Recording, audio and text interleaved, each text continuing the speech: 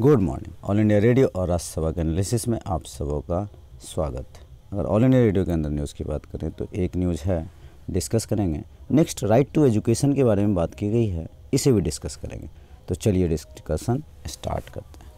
पहली न्यूज़ जो है हमारे पास, देखो, ओम बिरला के बारे में आपको पता है, ये हमारे लोकसभा के चेयरमैन हैं और 94 परसेंट से अधिक सांसदों ने अपने प्रश्नों को मतलब कुल मिलाकर के डिजिटल की ओर हम लोग अग्रसर हो रहे हैं।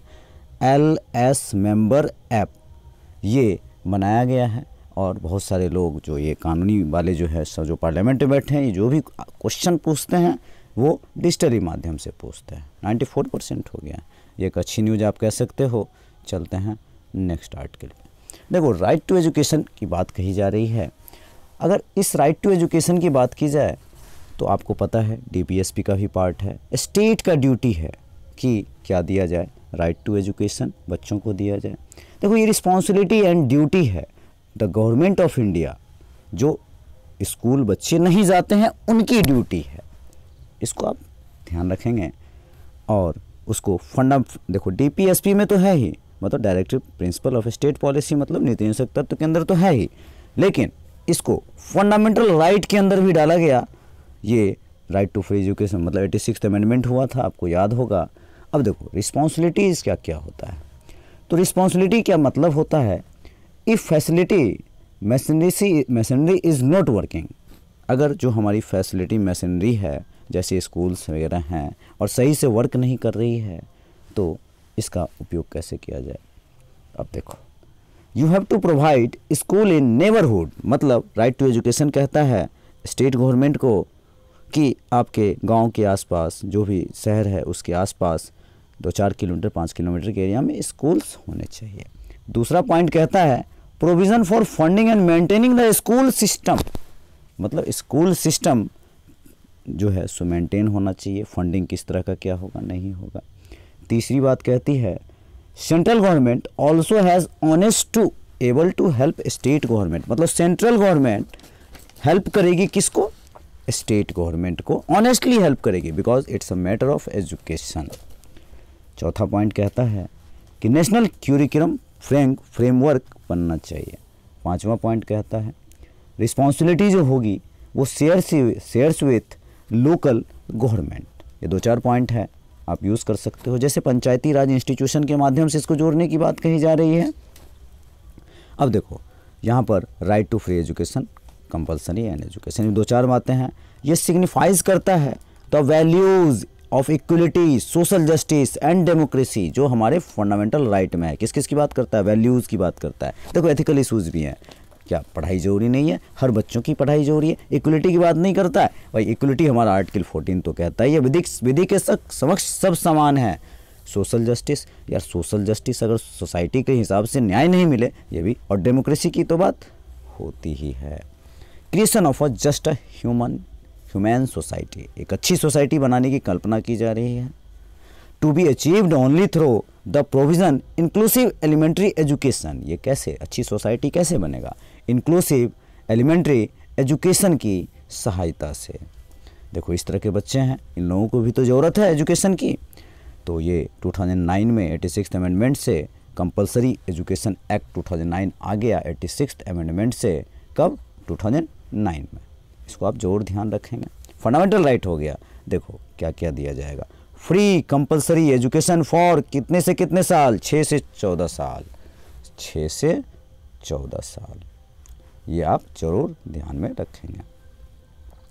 यहाँ पे और एक बात, जो नया आर्टिकल जोड़ा गया। Article 21 A capital A article 21 capital A ये जोड़ा गया।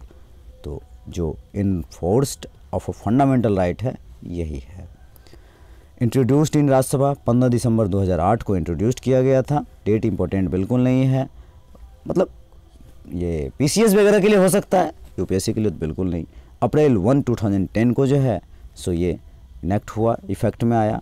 और the act gives effect on eighty six constitutional amendment act two ये आप समझ रहे हो। वही बात जो बार बार हम कर रहे हैं। Emphasise on inclusive excessive एक्सक्वेशनल national wide की बात करता है। 25 percent reservation of the weaker section section मतलब 25 परसेंट रिजर्वेशन भी है वीकर सेक्शन जो के जो बच्चे हैं, उनके लिए। Entry of children from the weaker section under weaker section का जो सेक्शन बनाया गया है सेक्शन ट्वेल्व वन सी इसको आप ध्यान रख सकते हो आंसर के अंदर यूज़ करोगे तो आपके आधे नंबर तो ज़रूर बढ़ जाएँगे। Mandate appointment of suitable teachers इसमें प्रोविज़न में ये भी बात कही जाती है। कि जो टीचर का अपॉइंटमेंट हो, वो सुटेबल टीचर हो नॉलेज वाले व्यक्ति हों। प्रोविट्स प्रोहिबिट्स पनिशमेंट पनिशमेंट नहीं होना चाहिए बच्चों का हरासमेंट नहीं होना चाहिए डिस्क्रिमिनेशन नहीं होना चाहिए। मतलब आर्टिकल 17 का भी वायलेशन नहीं होना चाहिए। इस तरह से चीज़ों को आप कनेक्ट कर सकते हो। Text book free text book देखो फ्री टेक्स्ट बुक की बात कही जा रही है राइटिंग मटेरियल्स की बात कही जा रही है यूनिफॉर्म की बात कही जा रही है। Implementation on centre state and local authorities जो बात अभी अभी की है हमने। नो एडमिशन टेस्ट कोई एडमिशन टेस्ट नहीं होगा। इंटरव्यू फॉर अ चाइल्ड और पेरेंट मतलब नो ऐसा कुछ नहीं होगा जो प्राइवेट स्कूल्स आजकल कर रहे हैं। अब देखो establishment of a school management system एक स्कूल मैनेजमेंट सिस्टम भी बनाया जाएगा और parents to send their school the act exhorts करता है कि पेरेंट्स जो हैं सो अपने बच्चे को स्कूल तक भेजें। Right to education act amended in 2017 12 17 19 में इसको अमेंड किया गया। अब देखो, यहाँ पर एक और बात।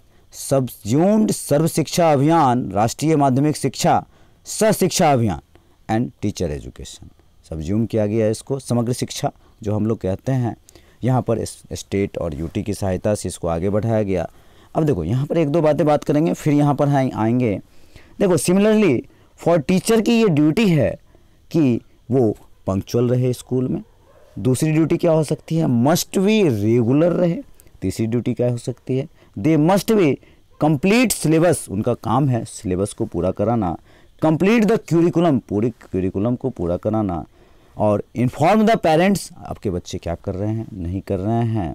And inform the children children क्या कर रहे हैं? नहीं कर रहे हैं। और क्या है इसके अंदर? कि developing developing in the child potential of the child मतलब चाइल्ड की पोटेंशियल क्या है? उनके ऊपर काम करना। और next the child may have good values good values ethical values तो होना बहुत ही बच्चों में ज़रूरी है। फ़िज़िकल एंड मेंटल डेवलपमेंट होना चाहिए। अब यहाँ पे बात करें तो helps to quality education quality education भी तो ज़रूरत है। कंड्यूसिव लर्निंग इन्वायरमेंट एक लर्निंग टाइप का इन्वायरमेंट होना चाहिए। Imperative strengthening the social fabric of democracy democracy social fabric democracy होनी चाहिए। प्रोविज़न फॉर इक्वल अपॉर्चुनिटीज़ वही इक्वल अपॉर्चुनिटी सबको मिलना चाहिए, समान अवसर मिलना चाहिए सबको। आर्टिकल 39 एफ़ जो हमारा किसका? डीपीएसपी का है। वो क्या कहता है? प्रिंसिपल ऑफ़ स्टेट पॉलिसी ये भी राइट टू एजुकेशन की बात करता है। और स्टेट गवर्नमेंट की ड्यूटी है। इक्विटेबल एंड एक्सेस एजुकेशन देने की। वही, ये बात April one two thousand ten को कंपलसरी बना दिया गया। देखो, यहाँ पर एक बातें हैं जो इसको आप यूज़ कर सकते हो आंसर के या ऐसे के लाइन में। Education is not about academic alone academics alone के लिए सिर्फ़ एजुकेशन नहीं है। तो क्या है? यहाँ पर about overall growth overall education is about overall growth की बात करता है। और ये बात करता है develop the abilities of the child जो एबिलिटीज़ है डेवलपमेंट जैसे कोई चित्रकारी बहुत अच्छा करता है आर्टिस्ट बहुत अच्छा है, कोई म्यूजिशियन बहुत अच्छा है, कोई आर्ट में बहुत अच्छा है, कोई प्लेइंग में बहुत अच्छा है तो उनको उस फ़ील्ड के अनुसार उसको वहाँ तक भेजा जाए। छः से चौदह साल which age of elementary education ये छः से चौदह साल का, देखो राइट फंडामेंटल राइट में जो राइट टू एजुकेशन है ट्वेंटी वन ए किसकी बात करता है? छः से चौदह साल की बात करता है। ये तो आप ज़रूर ध्यान रखना। और यहाँ पर प्रोटेक्शन ऑफ़ चाइल्ड राइट की भी बात कही जाती है कि चाइल्ड के राइट्स को प्रोटेक्शन करने की भी बात कही जाती है। हालाँकि इसमें कुछ ज़्यादा है नहीं, लेकिन national commission for child rights बनाया गया है। और इसके अंदर attainment of goal of universal elementary education universal elementary education वही सेम बातें। और सबसे बड़ी चीज़ education works as a building block in a child's ये एक बिल्डिंग ब्लॉक का काम करता है। एजुकेशन उनके मतलब जैसे कोई मूर्ति नहीं होता है, जिस सांचे में हम लोग ढालते हैं, उसी तरह से एक बिल्डिंग ब्लॉक का काम करता है और अटेन इक्वलिटी एलिमेंट्री एजुकेशन की बात करता है। और यहाँ पर एक और बात करें we must increase our children हम लोगों को चिल्ड्रेन को इनक्रेज करना चाहिए। ये सारी बातें इस आर्टिकल में कही जाती हैं। तो आज के डिस्कशन में इतना ही था। Thank you thank you